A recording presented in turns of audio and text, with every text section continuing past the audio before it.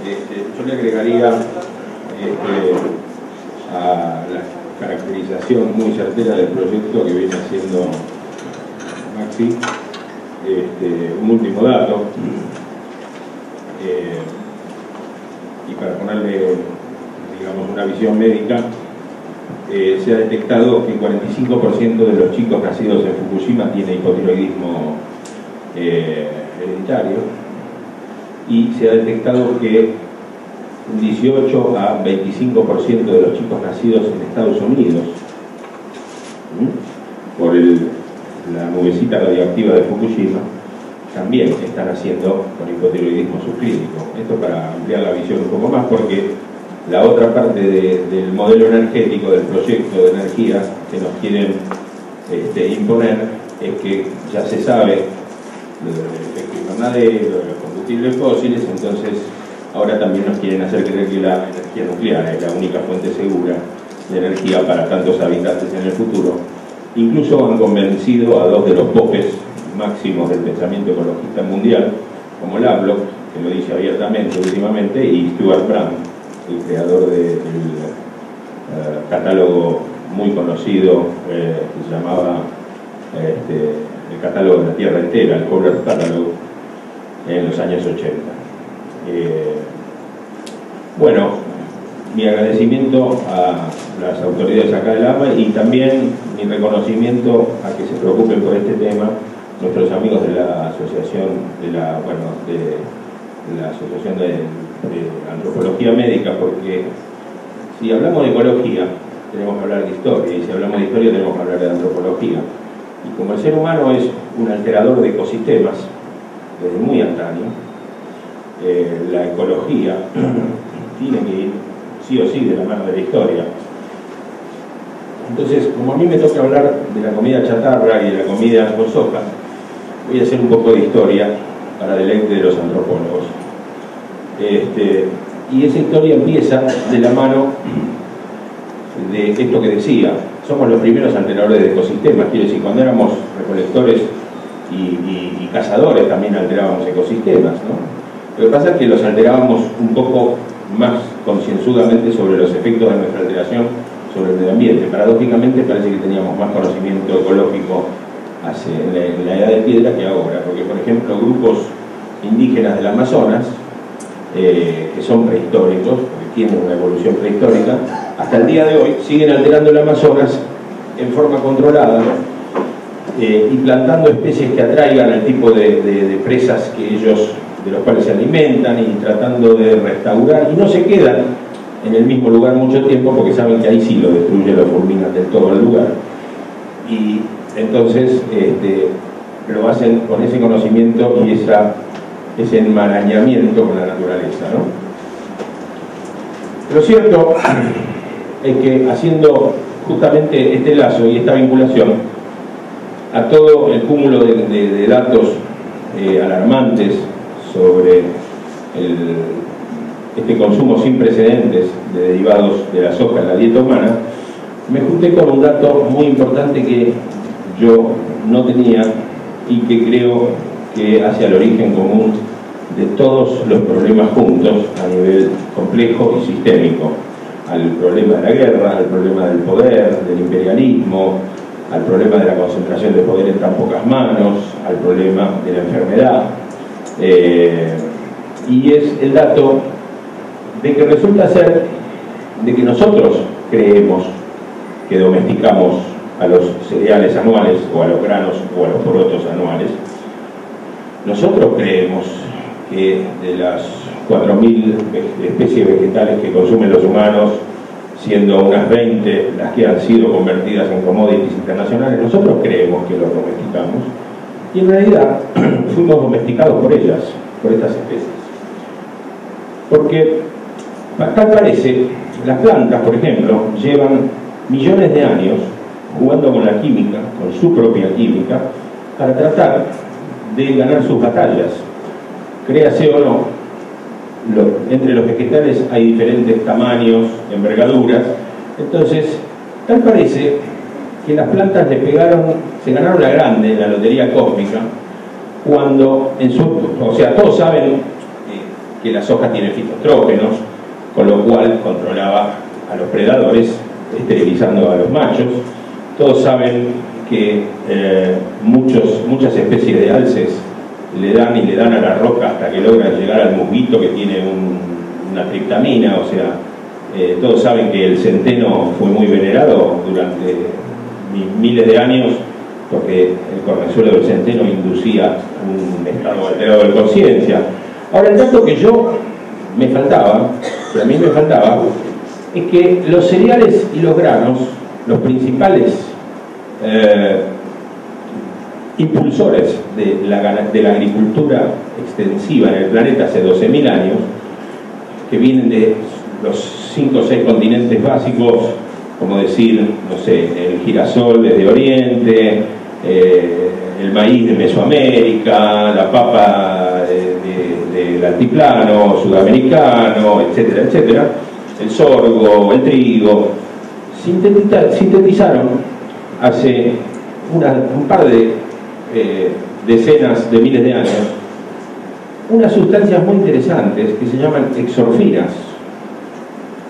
Las exorfinas son sustancias de la planta que simulan ser la morfina y se unen a unos receptores muy bonitos que tenemos los humanos en el sistema nervioso eh, que producen euforia, su estimulación, y producen analgesia, que son los receptores endorfínicos para las propias sustancias parecidas a la morfina que deriva de la amapola que tenemos nosotros adentro.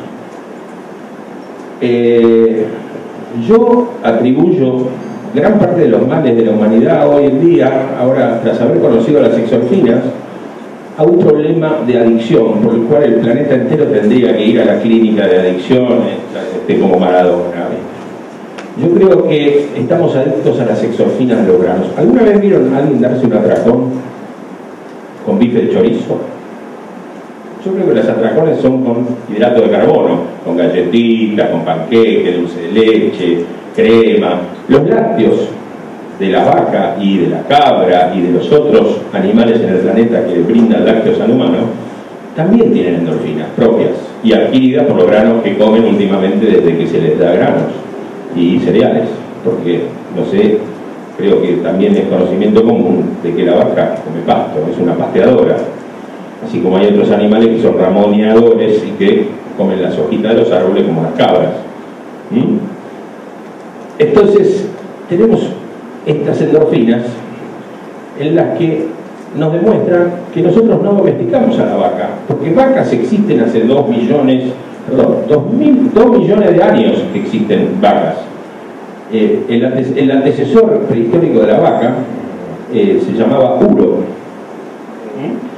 Entonces, desde este punto de vista, ¿nosotros domesticamos a la vaca o nosotros somos la obra de arte a través de las milenios de la vaca? Porque la vaca nos proveyó de grasas y proteínas de primera calidad que nos permitió achicar el aparato digestivo y agrandar la corteza cerebral. ¿Mm? Ya no tenemos que comer tanto volumen para extraer del medio proteínas y grasas de buena calidad. Y de algún modo en ese sentido, no sé si alguien vio alguna vez una gallina a las 2 de la mañana en medio de 2 metros de nieve en el pleno invierno llevándole agua a su amo. Yo creo que es al revés, es el amo el que le lleva el agua a la gallina. La gallina también se sacó entre más o menos eh, unas, eh, no me acuerdo el número exacto, pero creo que son por lo menos 1.200 especies, 1200 especies de gallináceas. Solo tres o cuatro son las domesticadas en las fábricas. Ellas también le pegaron a la lotería este, genética, se sacaron la grande a fin de año, porque lograron agradarnos de tal manera que ahora somos nosotros el que les lleva agua, más allá de que les haya salido mal a todos los animales, la estrategia y a las plantas también, porque no tuvieron en cuenta que el ser humano cuando quiere puede ser muy dañino, ¿no? Entonces terminaron un poco este, acumulados en feedlots y en, criaderos industriales, pero no me digan que no dominaron el globo. Lo mismo con, lo mismo con, los granos y con los cereales y con los porotos. Nos usaron como giles para ganarle la guerra a los árboles. Y díganme si no la han ganado. Con esas exorfinas nos convirtieron en sus esclavos. Hemos peleado guerras para que estos turros se apropien de toda la tierra que ellos querían sacarle a los árboles. O no se deforestó medio planeta por culpa de estos granitos. Bueno, esas exorfinas ejercen poderosos efectos no solo en el sistema nervioso, sino a nivel sistémico general de todos los seres vivientes. Por otro lado, esto es como una especie de prólogo arqueológico y antropológico este, para llegar al punto, que es por qué a la gente le gusta tanto la comida chatarra en, las grandes ciudades. ¿no? ¿Por qué la gente ¿Por qué somos parte del experimento más pelotudo de la historia de la ciencia? En este país particularmente, donde 40 millones de habitantes o más ya estamos comiendo derivados de transgénicos desde el año 96, la mayoría sin saberlo. Eh, y yo creo que en ese sentido todos tenemos nuestro propio santo. Porque si yo le saco sangre a cada uno acá y busco transgenes, seguramente voy a encontrar transgenes de la soja RR, por más que uno sea un consumidor ecologista eh, debidamente concienzudo de lo que mete a su boca, porque está en todos lados la soja. Está en todos, en todos lados. Y digo que todos tenemos nuestro propio santo porque seguro voy a encontrar genes de Monsanto. Monsanto, mi propio santo. ¿eh? Suena ridículo, pero es así. Bueno, por otro lado, eh, está este tema del neomaltusianismo. Yo le agregaría que es una gran recurrencia de un neonazismo. Porque la soja expresa, eh, en cierto modo, eh, también ribetes nazis en su modelo de cómo fue peregrineado toda esta bajada de, de línea respecto de cómo debe ser nuestra dieta. Digo ribetes nazis porque la soja le está proveyendo a Estados Unidos el 35% de su control, de, su poder de control social externo. Eh, en cuanto a lo económico, porque hoy, por ejemplo, le dejamos de mandar aluminio, hierro lo que sea a Japón y no pasa nada pero le dejamos de mandar torta de soja y a la semana tenemos a la población japonesa en las calles aumentando, eh, protestando por el aumento de los precios de la carne. Este, es un continente que hizo, puso de rodillas también, tornando los adictos al resto de los continentes, un continente que produce soja y cinco el resto, los otros cinco continentes adictos a los productos de soja caemos en el mismo mecanismo de nuevo. Eh, si no son las endorfinas, son las isoflavonas, pero siempre hay una sustancia que nos está afectando y nos hace no discernir bien, ni a nosotros ni a nuestros gobernantes, qué está pasando. Y digo nazismo porque la soja también tiene isoflavonas. Y si bien para el año 1920 la Asociación Americana de la soja que se funda en el 20 cuando logran eh, destruir en el laboratorio, inactivar los componentes antinutrientes de la soja, se funda la Asociación Americana de la Soja y se arman los primeros eh, andamios de lo que sería el futuro sistema de producción industrial de carne para consumo humano. Este, entonces, Recién en el 1950 se descubrieron los fitoestrógenos de la soja. ¿Mm? Y es a partir de 1950 que Estados Unidos logra consolidar. La primera llegada de porotos de soja a la Argentina fue en el 55, creo que era por gobierno de este, en el 50 empieza a poner en marcha este plan, a partir de los años 50, porque se sabía ya que los fitoestrógenos son disruptores hormonales. Esto es, disrupción hormonal, el producto lo consumo hoy, el cáncer me viene dentro de 20 años o en la generación siguiente. Disruptor hormonal quiere decir que altera todo el equilibrio hormonal del ser humano. Entonces, esto además del control social, le brinda al poder norteamericano un nuevo poder, que es la denegación a las poblaciones de su derecho a vivir un potencial biológico completo a través de la dieta. Yo le doy fitoestrógenos en exceso a la población, los niñitos van a empezar a consumir soja desde chiquitos, se les va a fundir la tiroides y por lo tanto van a ser unos estúpidos toda la vida y van a consumir mis productos sin cuestionarlos. Pero es así como se los digo. Eh, tarde, piaste Juan, cuando en la famosa eh, mesa de nutrición que armó Chiche Dualde, se logró avisar a la población de que no le den soja a niños menores de dos años y que los mayores de dos años hasta los seis se lo dé con mucho recaudo, porque ya tenemos toda una generación de argentinitos con la tiroides licuada. Y fíjense que no es por culpa de la energía nuclear, como dije al principio. Por otro lado, más licuada la tienen los chicos la tiroides por el famoso ADES. Esto es realmente un caos ecotoxicológico proveniendo de eh, lo mismo. Entonces, creo que hasta acá por lo menos hice un, poco de antecedentes históricos. La soja, como los cereales, dominan el mundo. No hay solamente un poroto que, que dominó el planeta entero. La soja no es rey, sino que la soja comparte el reinado con los 7 a 7, 8 cultivos básicos de todo el planeta y todos, todas las dietas madre de todos los continentes, las dietas arcaicas, las dietas ancestrales, folclóricas, eh, regionales, incorporan estos productos. ¿Por qué? Porque somos unos malditos adictos. Los humanos terminamos siendo adictos a las famosas exorfinas ¿eh? de todos estos granos. Eh, es tan reciente mi incorporación de este dato que todavía estoy en la búsqueda de material, pero encontré un hermoso documento que pronto voy a estar a difusión de cuántas exorfinas tiene el hidrolizado de, proteína de soja.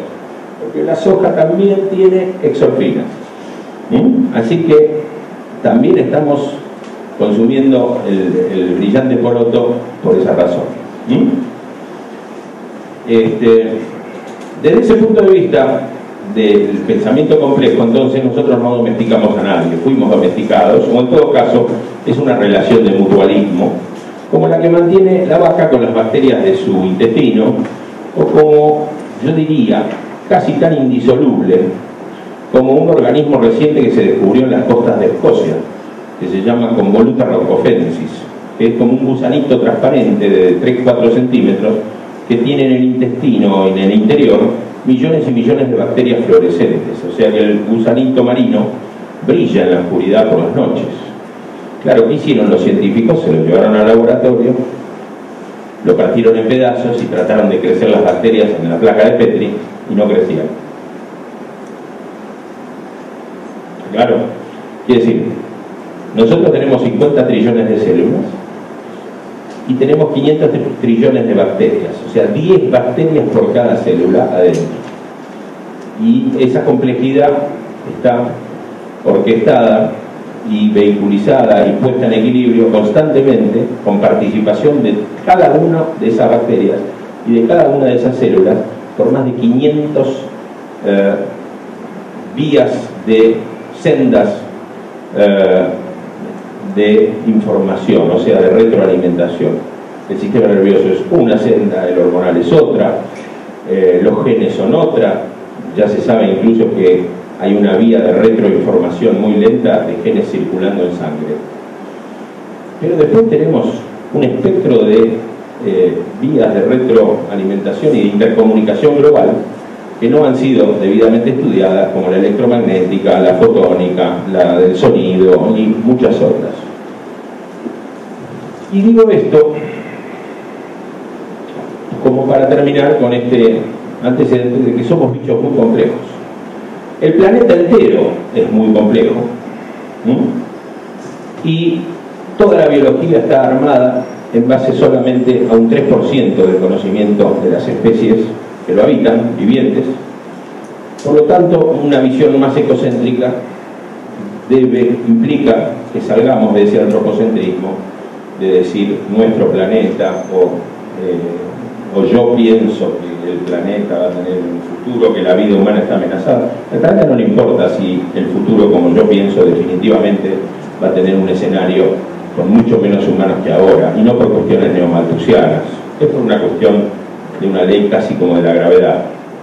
Eh, estudiando a los más grandes biólogos que han replanteado la biología, eh, y la termodinámica y la biofísica sobre todo, eh, a la naturaleza no le gustan los gradientes, no le gusta que haya más de un lado y menos del otro, entonces siempre hay una tendencia a equiparar gradientes, y los humanos nos hemos convertido en un hermoso gradiente con nuestras casi 7 mil millones a ser devorado muy prontamente por alguna otra especie, así como nosotros ocupamos eh, el lugar de un punto dentro de la escala alimenticia con tanta habilidad que nos convirtió en la pionera especie dentro del planeta que más materia cicla alrededor del globo y que más energía solar eh, aprovecha.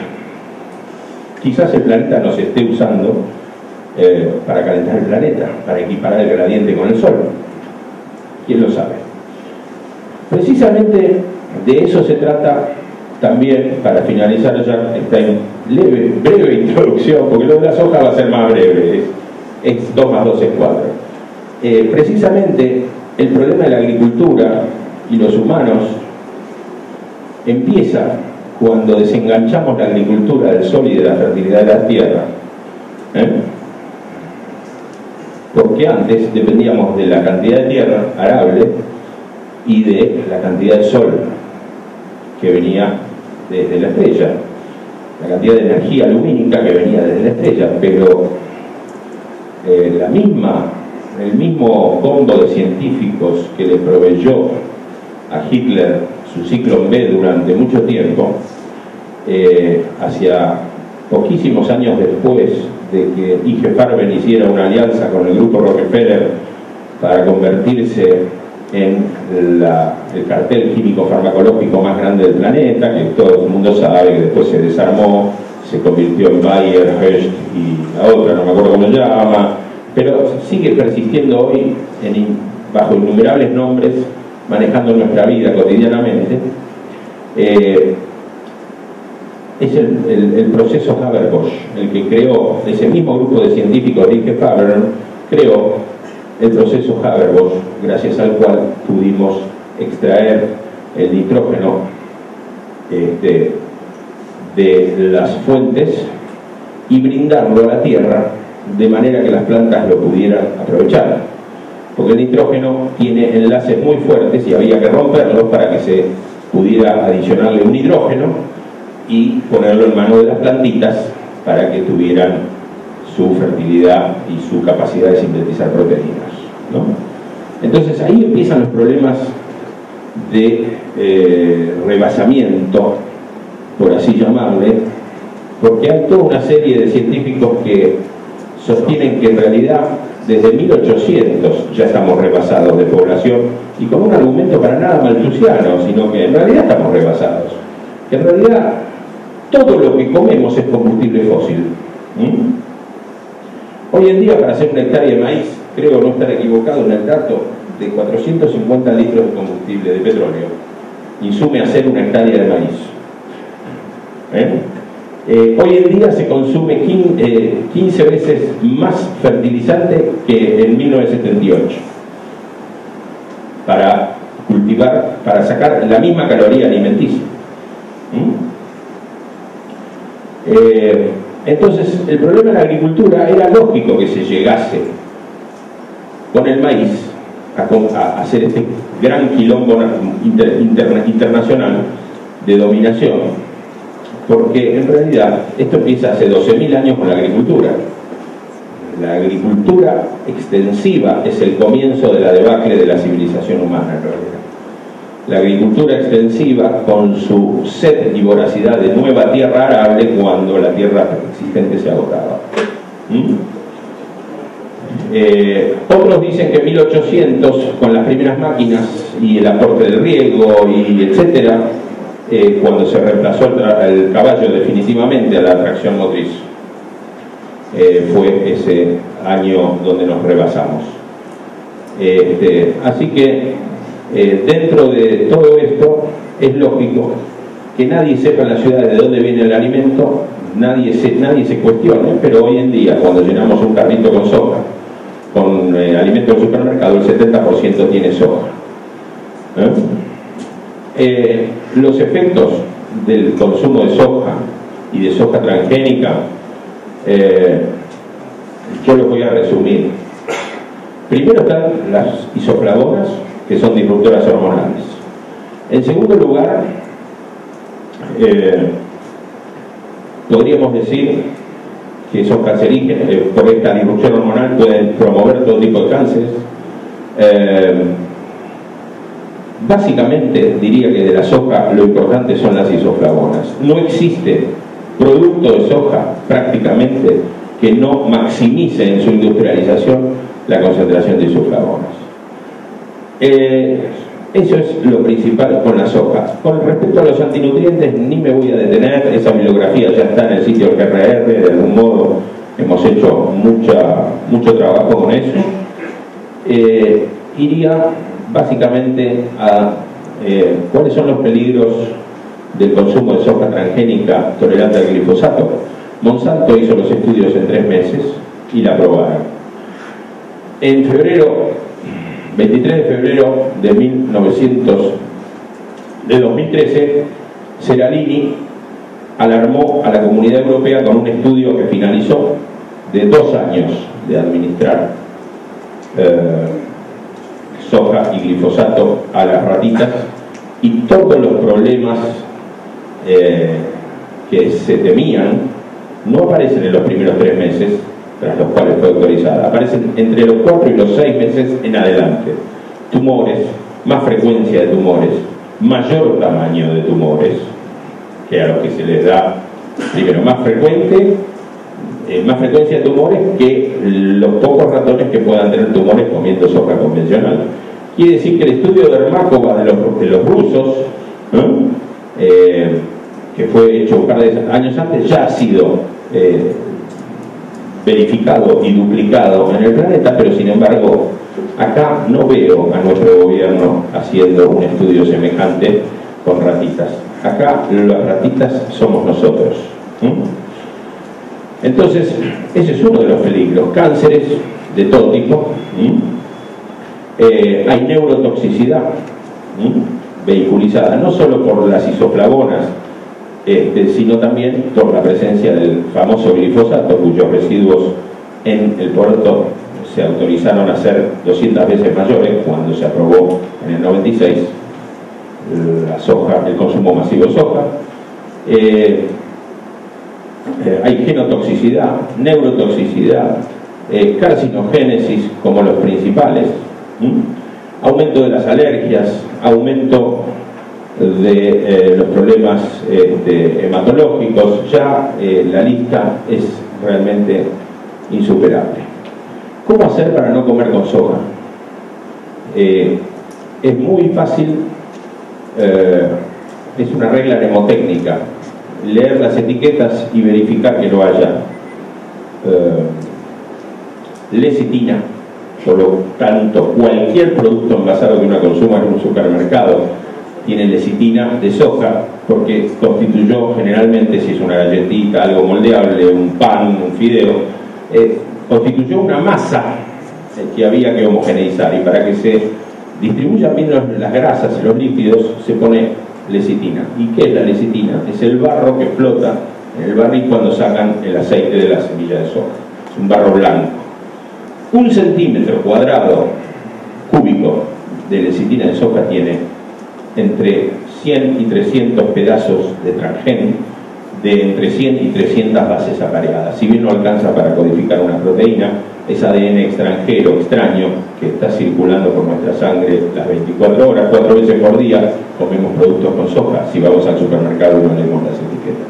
Y eso produce una especie de lesión de esfuerzo repetitivo.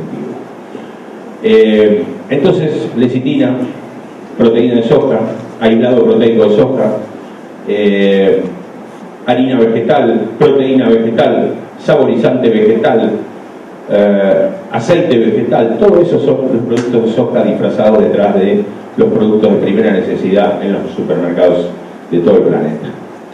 Esa es muy simple, es la regla mnemotécnica, leer las etiquetas.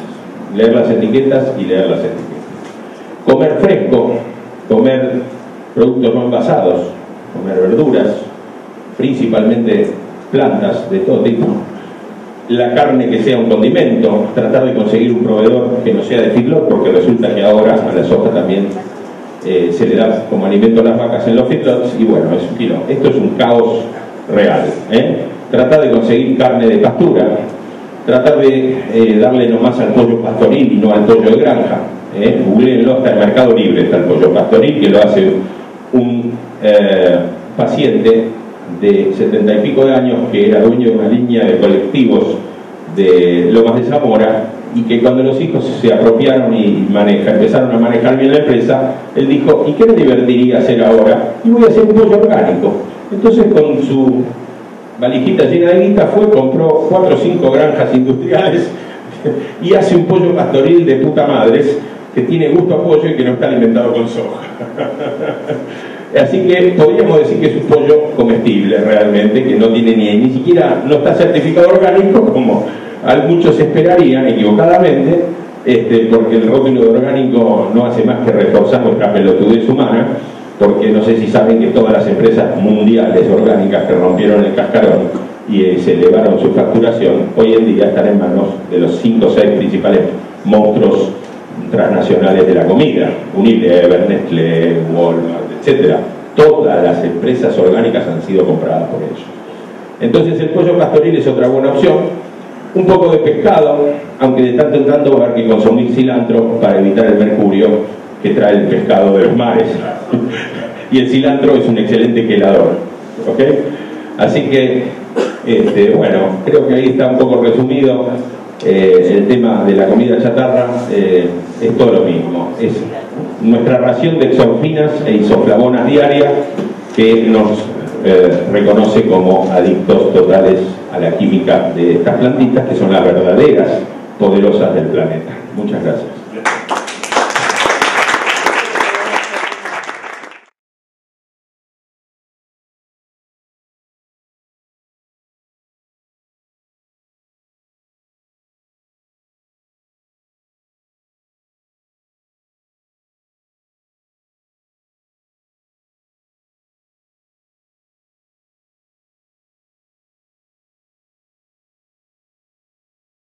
Yo no tenía y que creo que hacia el origen común de todos los problemas juntos a nivel complejo y sistémico, al problema de la guerra, al problema del poder, del imperialismo, al problema de la concentración de poder en tan pocas manos, al problema de la enfermedad.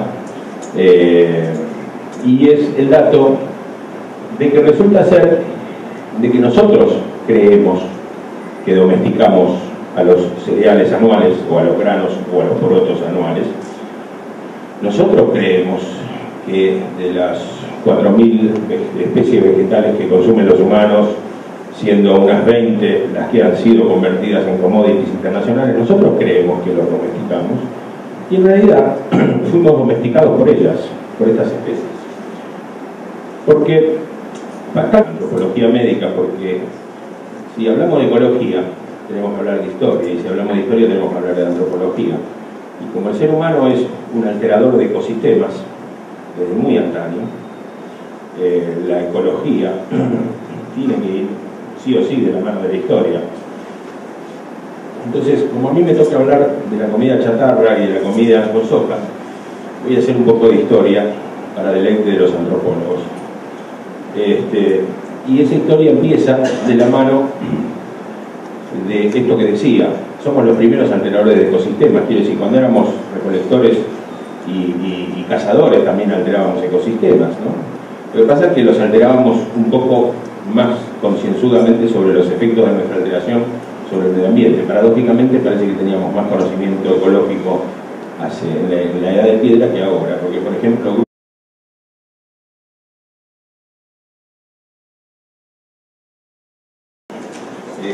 le agregaría este, a la caracterización muy certera del proyecto que viene haciendo Maxi, este, un último dato, eh, y para ponerle digamos, una visión médica, eh, se ha detectado que el 45% de los chicos nacidos en Fukushima tiene hipotiroidismo eh, hereditario.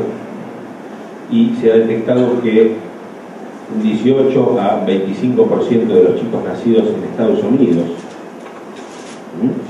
por la nubecita radioactiva de Fukushima también están haciendo con hipotiroidismo subclínico. Esto para ampliar la visión un poco más porque la otra parte del modelo energético, grupos indígenas del Amazonas, eh, que son prehistóricos, que tienen una evolución prehistórica, hasta el día de hoy siguen alterando el Amazonas en forma controlada eh, y plantando especies que atraigan el tipo de, presas que ellos, de los cuales se alimentan y tratando de restaurar y no se quedan en el mismo lugar mucho tiempo porque saben que ahí sí lo destruye, lo fulminan de todo el lugar.